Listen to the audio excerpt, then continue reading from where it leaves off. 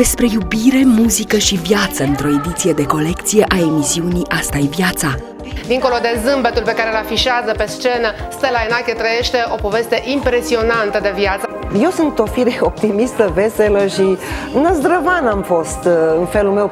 Îmi plăcea pe scenă și eram uh, volubilă. Mie plăcea să cânt. Nu vroiam neapărat să vai de mine să mă cunoască lumea.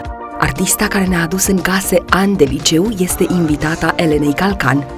Nu există, nu există generație care termină liceu să nu dorească să se cânte această piesă. Joi de la ora 17.30 la Asta e viața.